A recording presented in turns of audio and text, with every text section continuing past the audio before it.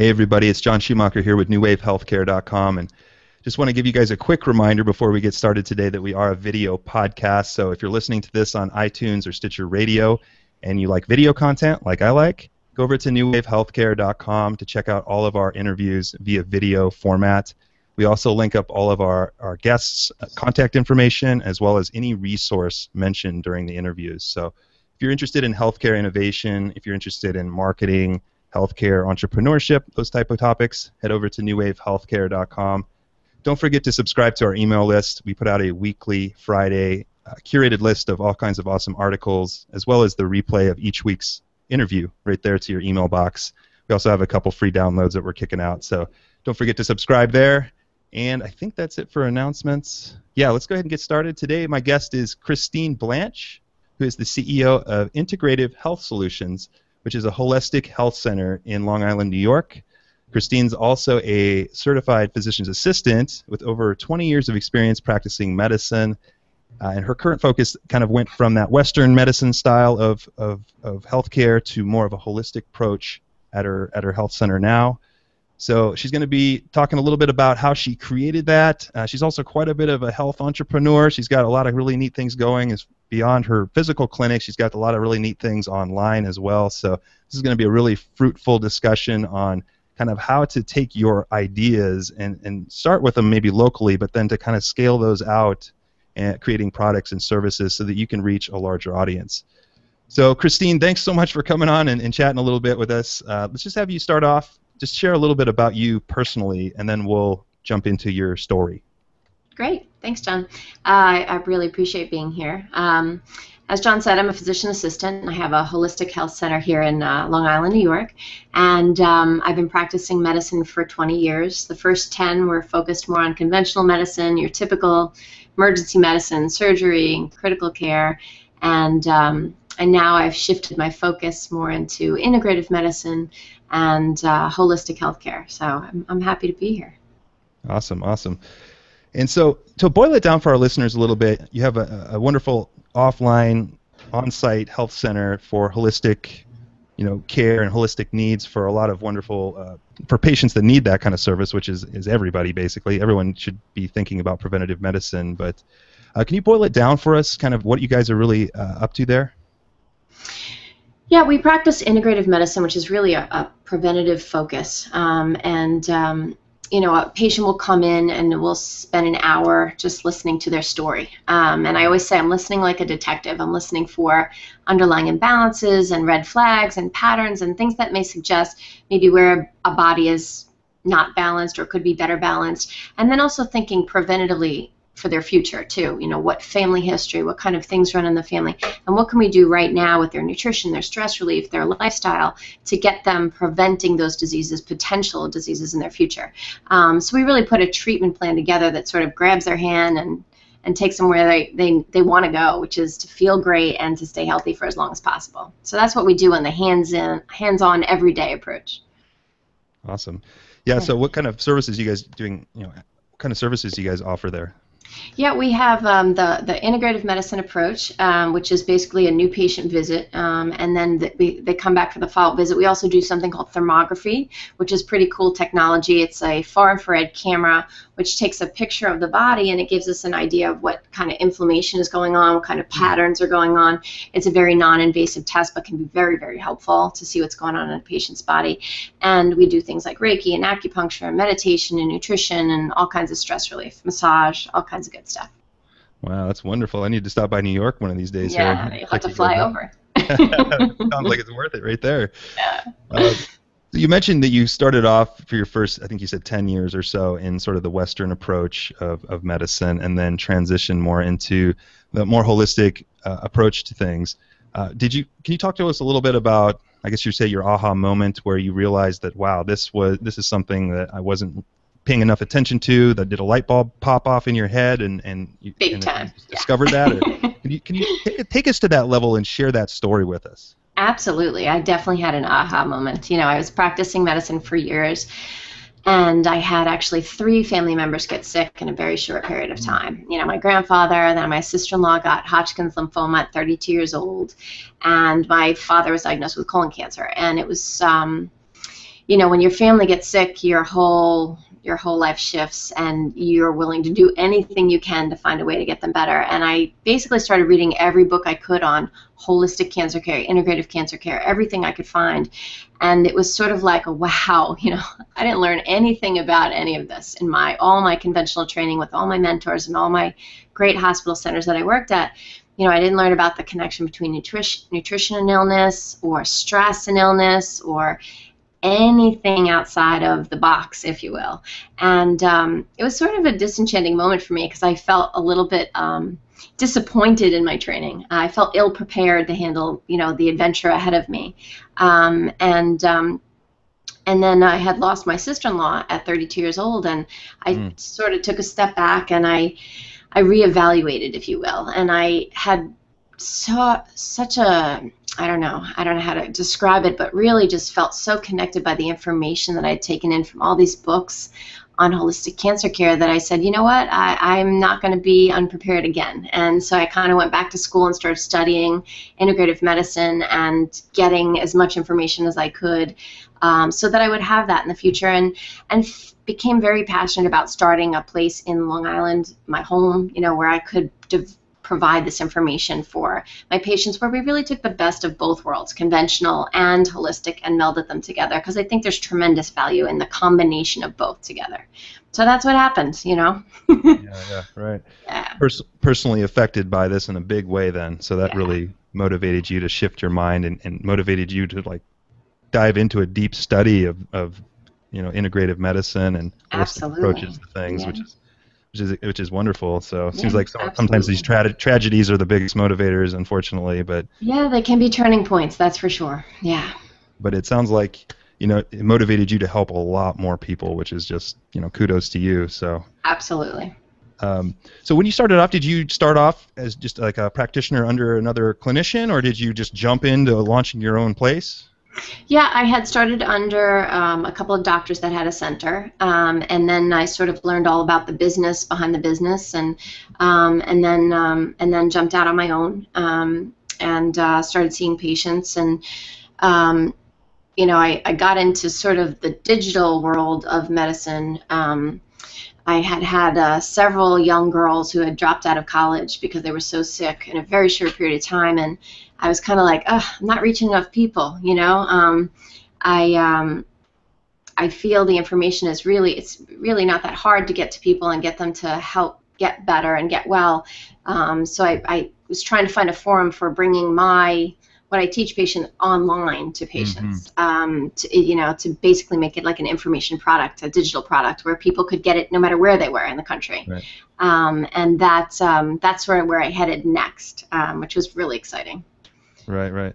So how long did you wait till you opened your own clinic? Let's let's go back to that for a second. We'll catch up with sure. the digital products definitely, yeah.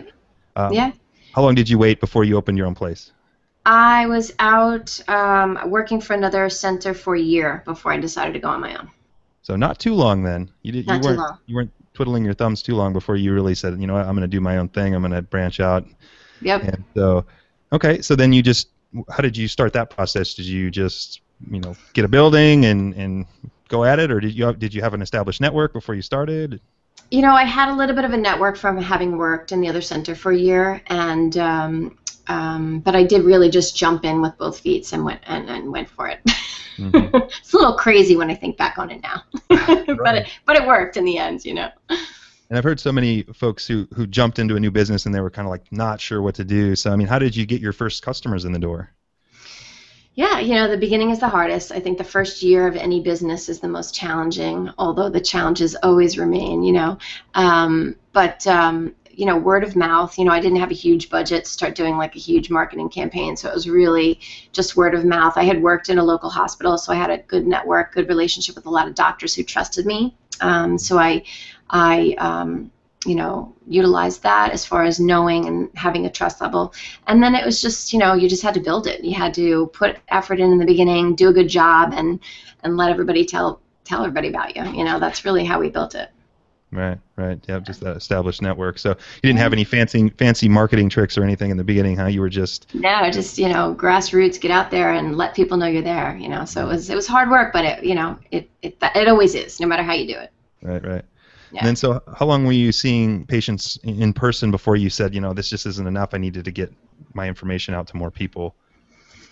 I launched my first information product, I guess it was um, two years ago. I had been doing um, a cleanse, uh, you know, a hands on cleanse with my patients. Women would come every week for three weeks, and I'd kind of take them through, I called it the girlfriend cleanse because they did it together with their girlfriends. Um, and it was sort of like a lifestyle change program, and the results, the success that the patients had was amazing. Um, so I took that program, the base of that program, and I put it online, which I was pretty technically challenged at the time. So yeah. it definitely required a lot of work and persistence. Um, but it was really um, amazing to be able to get it out there and have the first few people go through the program and see that they were getting the same successes that I was seeing in person. Because it was a little scary at first, you know, are they gonna are they going to be able to get it? You know, is it going to be the same success, is the same results? Um, so it was really cool to see that that was possible. Yeah, yeah. Were you at all nervous? I know I talked to, uh, I've worked with and talked to a lot of like just small, like single practitioners who are looking to put out an ebook or information products, and they're, they're nervous because of their license and because of HIPAA and all these rules and stuff like that. Were you nervous about that? Did you consult with somebody, or did you just say, you know what, I have this knowledge, let's I did. I mean, put it out? I was nervous, um, more so just about the technology and not understanding how to even go about it. You know, I mean, the way that I, I work with patients is really to kind of teach them and hold their hand and give them the information and let them run with it. Um, so, um, you know, I had taken a course on how to do it essentially, um, and had some really good mentors um, in that course. Um, as far as the, you know, from this program, the, the HIPAA wasn't really an issue because there was no interaction between client to client. So it was really just me delivering the information and the patient, you know, grabbing the product and, and running with it. Um, but I, you know, further on in a lot of my things, you, you really do have to be careful. I did get some legal advice to make sure everything was reviewed. Um, but it's um, it's it's a lot easier than you think it's going to be. Right. I think more some people are very scared of that. I know. So it's uh, definitely good to talk to somebody who could kind of ease your mind on that. But uh, absolutely. so as far as the technical aspect of it, I know a lot of healthcare providers are like, I have no idea. I don't have any clue about how to, you know, what's, you know, WordPress, what's wishlist member, how do I record videos on my computer, those type of things. You said, I believe you said you had a, got, you got mentors and took a course on how. To I did. I, t- I took it the the Make It Market Launch course with uh, Pam Hendrickson and Mike Koenigs, and um, it was an online course that I registered for, and it really, literally, when I say I'm technically challenged, I mean that in the most sense of the word, and it really took my hands, and I went through this program, and it's sort of self-driven. You do it as as you can. You know, I would do it in the evenings when I got home at night, um, but it really taught me so much about how to do this. The fact that I was able to do it with very little help was really um, amazing to me in the end. Um, but you know, they're they're definitely um, kind of they definitely hold your hand through the whole thing. And there was a lot of different people with different backgrounds trying to bring out information products. But health is is really changing, and I really think that this is sort of the future of how we can reach people. Yeah, definitely. yeah, definitely. Yeah. I mean, you can get your idea out to as many people as you know, infinite. It scales infinitely. So. Absolutely. Uh, so how did you do you mind if I ask if how do you pra- how did you package it? I mean, did you just do like screen shares? Did you do like downloadable PDFs in like a membership area? Like how did you yep. package that? I did um, I did downloadable PDFs, um, and I have a membership site on Kajabi, mm-hmm. and um, so the the you know the client will register for the product. Um, they'll get an invitation to the membership site, and all the videos. There's like a pre-cleanse video on how to get ready, how to get excited, and all the PDFs are there with recipes and menu ideas and then um, um, each week um, there's an evergreen launch with a video. So I used to do an hour-long video. I used to do an hour-long lecture in person with the patients, so I just taped that lecture in a video presentation, and then we focus on the stress relief component. So there's meditation apps and all kinds of things on the website itself, and then they actually get a physical product delivered to them as well, which is you know, a binder with the information that's on the website. And I did do CDs because there are some, like I've had some 80 year olds do the, do the girlfriend cleanse that didn't necessarily have internet access. So, um, and uh, and then there's some products associated with it. You know, some sup- simple supplements that they take as well. Yeah, so quite quite extensive package yeah. then. So, yeah, it's I mean, pretty how cool. Did you, before you launched that, I mean, how were you how were you sure that they that there was somebody was going to buy that? Like, did you have did you pre-test the market at all and kind of say, okay, there's an interest for this, let's let's spend some because you're you're getting physical products out and things like that. That costs a little bit more money than just like a digital Kajabi setup. So, did you? Yeah, well? I, I knew that I could at least um, get it out there to my own clients. So where I'd been doing this physical one-on-one, um, you know, I would I would have you know eight to ten or twelve women come each week. Um, this this was a need for me, you know, to be able to have those women be able to do this program whenever they could, whenever, you know, from the courtesy of their living room instead of having to come at 9 o'clock on Tuesday. Um, so I, I had like a network of clients that I knew I would at least be able to. And then I was excited to get it out there to people that I hadn't touched already. And that's sort of what happened, you know somebody in New York would do it who was my client, and they tell their cousin out in Arizona or you know their sister in California, and so it sort of became word of mouth as well as far as that. And then I had a lot of couples doing the girlfriend cleanse together. and one gentleman said, uh, "Could you please come up for a male's version of this? Because I, I can't tell my friends that I'm doing the girlfriend cleanse." so then I came up with the man up detox, which is for men. I saw that. I saw that. Yeah, looks cool. I love I love your video of that too on your sales letter your, or your sales page. You're just like acting kind of like a manly little voice, a little more there. I like that. Like it's man up, guys, come on. Yeah, exactly. It's a different approach, slightly different, but the same information. That's good stuff. I love that. Yeah. Yeah. So, um, how did you get the? How did you? How, how are you? Or how did you? Did you just email that to your current your email list that you had at the time? Did you, how were you marketing and sh- sharing this with people? Yeah, I did it with my email list, um, and I did it. Uh, did some affiliate launches with some local practitioners that were very, um, you know, consistent with my message, and they they appreciated it as well because it was sort of like a hands-on a program that they could send their clients home with, um, whereas opposed to they would usually recommend just a supplement program. Um, this was at least you know teaching the patients and giving them information. You know, they really enjoyed it, uh, and then I did some social media stuff, but um, that's primarily how I got going. Yeah, yeah. So how did you find these these affiliate partners? And, w- and when you say that for the people listening, kind of what does that really mean? Let's go ahead and define that for a second. Sure. So affiliates, uh, like affiliate practitioners. So practitioners that I've known um, that didn't really have the time to do digital products or anything like that. I just approached, you know, friends, uh, colleagues, um, and I told them about the pro- program and I let them experience it and they you know felt comfortable recommending it to their patients and then um, through the um, online system you can set up affiliate uh, launches with with patients or, or, practitioners so you could ask a friend to recommend your program and then they automatically get a commission based on their referrals so it's a nice and it keeps track of it and everything for you which is really nice Right. Yeah. There's a couple of directories I think that you can sign up for to have this kind of affiliate tracking mm-hmm. systems in place. I don't yeah. know which which ones did you use. I used a one shopping cart. One shopping cart. Okay. Yeah. cool. Yeah. So. Cool. Yeah. Very cool. So. Um, yeah, so that's pretty neat. So you're able to get it going, and it started gaining traction, and then all of a sudden your message started getting out to more and more people. Um, and then you looks like you made a couple apps. Was that next, or? Yep, I did a couple of apps. I actually, uh, uh, my brother had a company was making apps, so that worked out kind of wow. well for me yeah, exactly. Um, so, um, so I got uh, some apps for the detoxes as well as for the center, and that's just a nice way to be able to connect with patients. Again, you know, I find email is very difficult. People are getting so many emails. Nobody's going to open, you know, 100 emails a day. So, email I, I feel like is falling by the wayside as far as being able to connect with people. I think they need quick, easy ways to be able to get the information, and the apps and text campaigns and things like that are really, I think, the way to help get make it easy for patients to connect. Right, right. So you've done quite an extensive, you know, amount of, of I guess you could say modes of content production. You know, you're able to put your content out on a lot of different areas. You know, physical clinic, you know, digital products, apps. I think I saw you do webinars at times. It looks like yeah, I saw your mm-hmm. webinar jam set up there. Yes.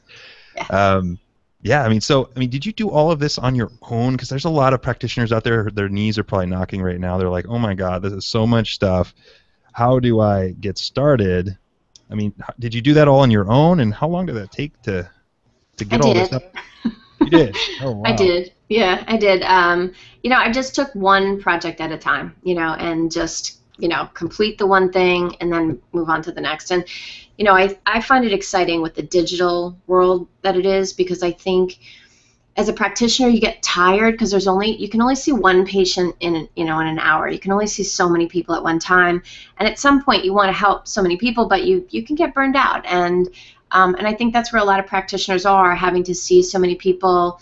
Um, that I feel that this is really exciting and will be even more exciting to healthcare practitioners because you can see, you know, I can be taking care of 10 people during the cleanse while I'm seeing patients. And right. that's that's where it's exciting because you can really multi- it's almost like multiplying yourself to be able to do that so where it requires a lot of effort up front getting the programs done now the cleanses are just rolling you know they're done they're out there um, they're helping people and um, and it doesn't require my one-on-one time which is really really helpful because then you can move on to the next project right exactly yeah you know? so and you, you get recurring you know business and recurring help from everybody. It's it's absolutely leverage, it's, right? It's leverage. It's, yeah, it is, and it's a really a win-win. I mean, you know, it's nice to know. You know, I was at the beach today, and, and there was five people doing the cleanse. You know, yeah. it's just it's good to do.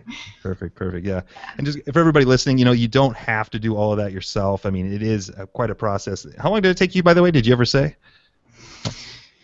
You know, to actually launch the program, I think it took me seven months from seven the time months. that I started taking the course to finishing the course to actually getting it out there. I think it took me seven months. You know, and there is there's I mean so much help out there. You can get consultants to do a mm-hmm. lot. I mean, my programmer was, you know, out of Ireland, um, and I had a graphics guy out of India. And there's yeah. so many websites now that you can hire people to do all these things that I would never. I mean, I couldn't have pr- programmed the website and the Kajabi and all that, you know. So to get someone to help you with that is, is actually relatively easy, believe it or not. Yeah, yeah.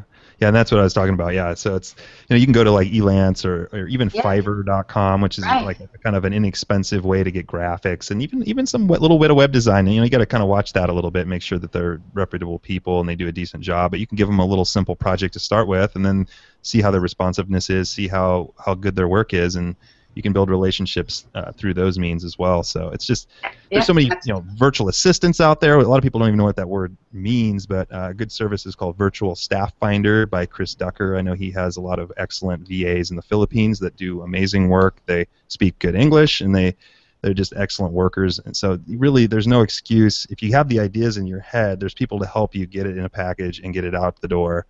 Uh, it takes a little bit of time, like like you went through, but it's definitely doable. It know? is. It really is. And I've used both those Elance and Fiverr myself. Yeah, yeah, they're both great.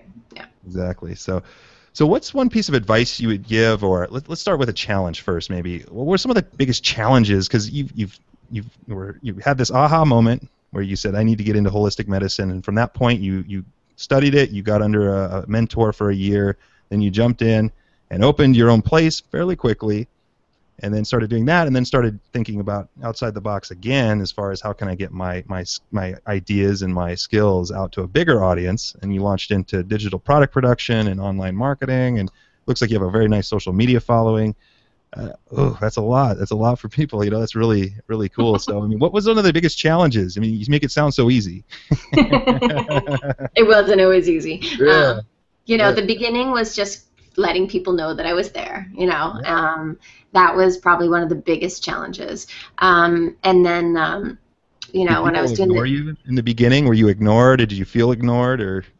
I just didn't, you know, I mean, without a, a, huge budget to go out there and market and get in every magazine and get a PR person, it's really just knocking on doors and it's a lot of physical time.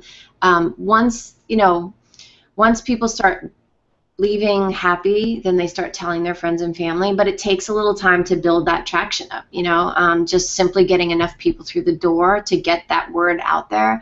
You know, I would say probably tipping point was about three years where it really started to feel like, okay, I don't have to work so hard and knock on doors and go meet people. There now, the constant flow is happening, which is really it takes time, and that first three years is scary. You know. yeah.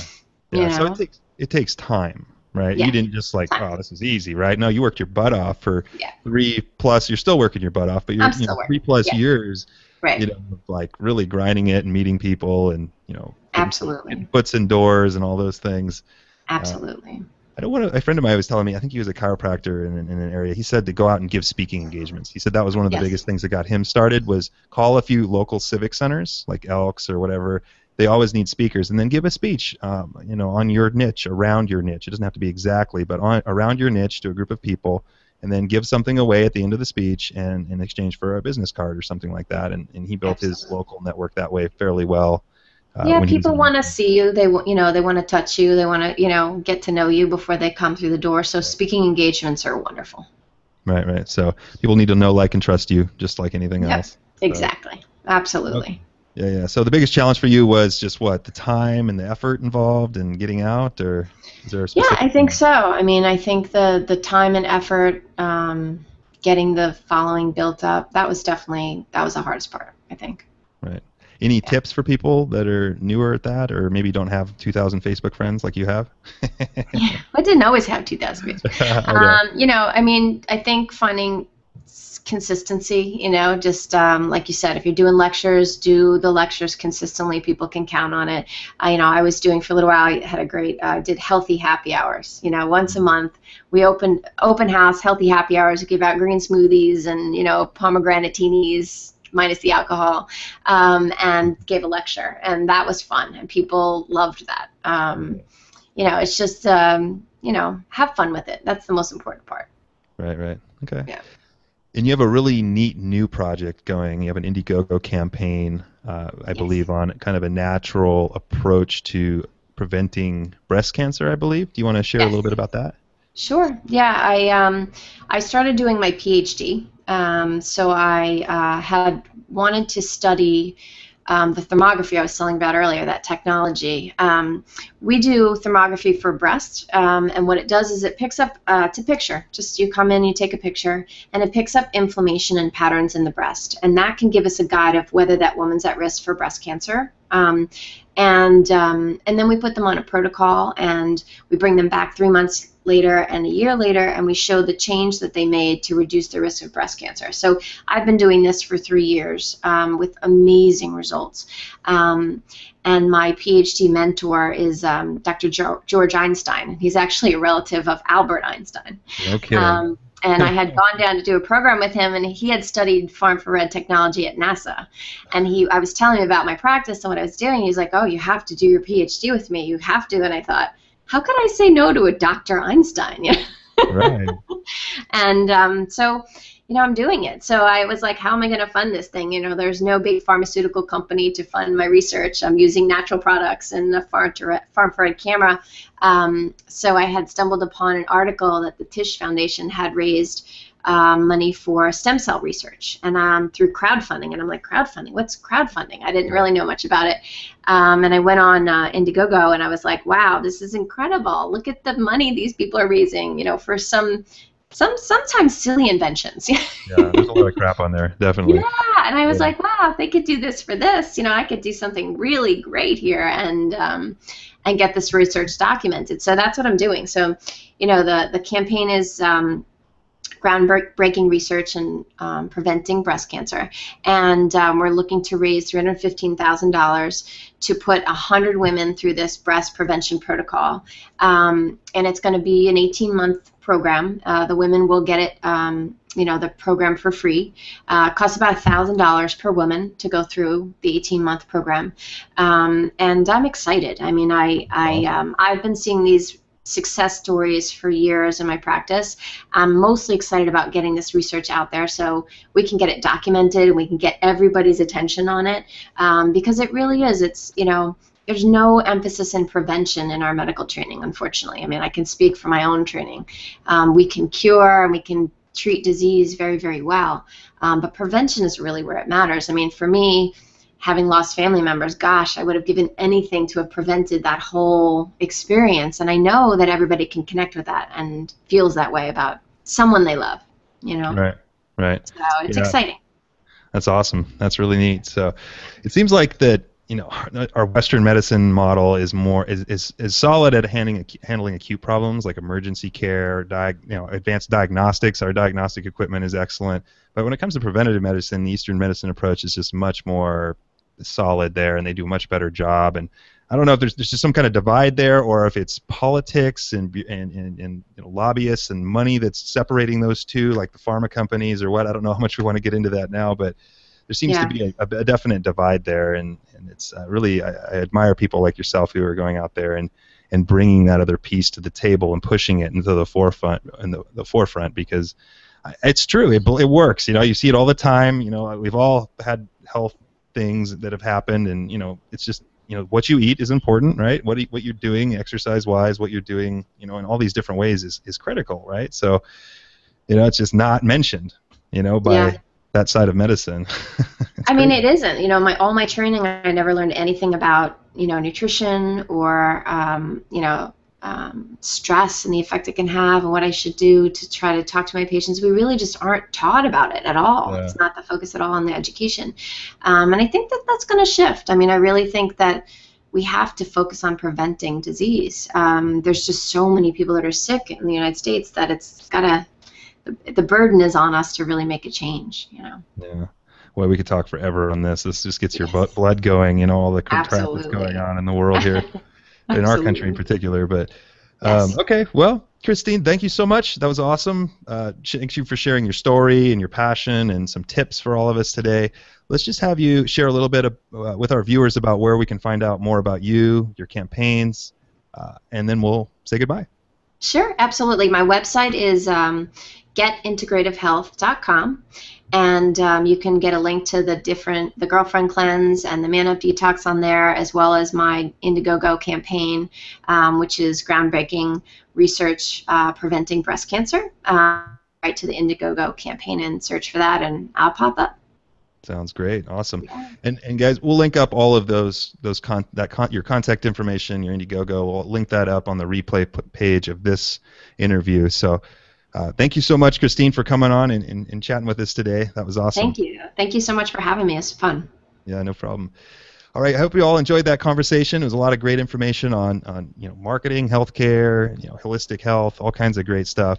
So if you're looking, if you're listening to this on iTunes or Stitcher Radio, go over to newwavehealthcare.com and you can simply type in Kristine's name in the search bar, and her show notes page will pop right up with all of her contact information uh, all of the resources that we mentioned during this conversation today. That's uh, Kristine with a K. That's K R I S T I N E, Kristine. So that's it for now, everybody. I will see you on the next one.